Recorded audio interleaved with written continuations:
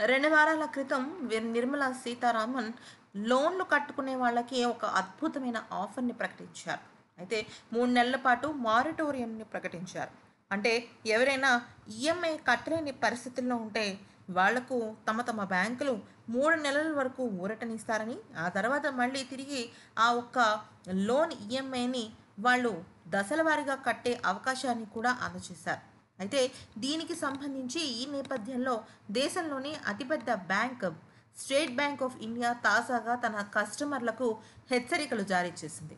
కొత్తగా గమనించినట్టయితే చాలా మోసపూరితంగా ఇప్పుడు ఆన్లైన్లో కొన్ని మోసాలు జరుగుతున్నాయని చెప్పింది.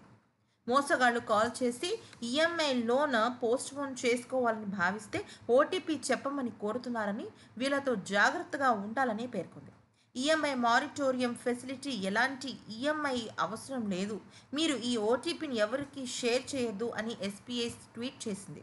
ఒకసారి ఓటీపీ షేర్ చేస్తే మోసగాళ్ళు మీ అకౌంట్లో నుంచి క్షణాల్లో డబ్బును మాయం చేసేస్తారు.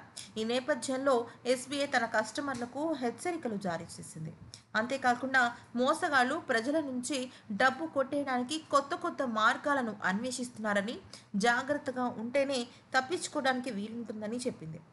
ఇక మూడు నెలల ఈఎంఐ మారిటోరియం ఆప్షన్ ఎంచుకోవడానికి ఎలాంటి ఓటీపీ అవసరం లేదని మీ ఓటీపీని దయచేసి ఎవరితో షేర్ చేయొద్దని చెప్పింది. ఎందుకని అంటే ఎస్బీఐకి సంబంధించి ఇటువంటి మోసగాళ్ళ దగ్గర మోసపోయిన కస్టమర్లు చాలామంది వెలుగులోకి వచ్చారని అందుకని వెంటనే ఎస్బీఐ బ్యాంక్ అప్రమత్తమైంది. మరి ఈ విషయం గురించి మీరేమంటారనేది కామెంట్ సెక్షన్లో మాకు తెలియజేయండి.